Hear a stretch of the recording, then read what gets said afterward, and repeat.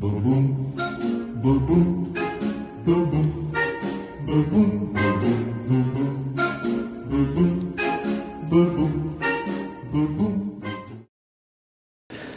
Good morning, Carrollton High School. Please stand for the pledge. I pledge allegiance to the flag of the United States of America and to the republic for which it stands, one nation, under God, indivisible, with liberty and justice for all.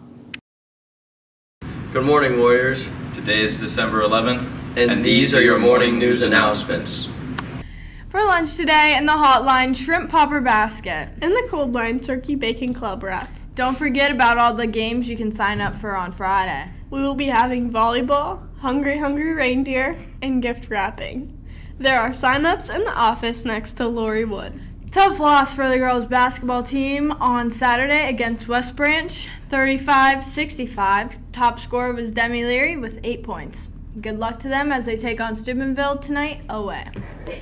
Our boys wrestling team traveled to Lake on Saturday for the Lake Duels, winning against Mayfield 72 to 17 and also winning against Lake 52 to 23. Happy birthday to Shayla Kindle. Nodded Jack with your weather. Hey Warriors, your weather for today is going to be a high of 35 and a low of 28. Good luck on your exams. Back to the studio.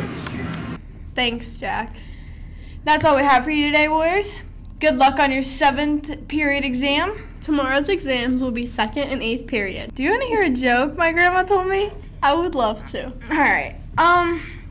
So why was the broom late to school? I'm not really sure. Cause it overswept. I'm out.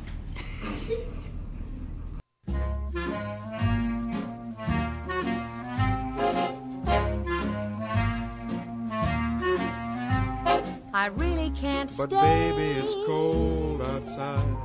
I've got to go away. But baby, it's cold.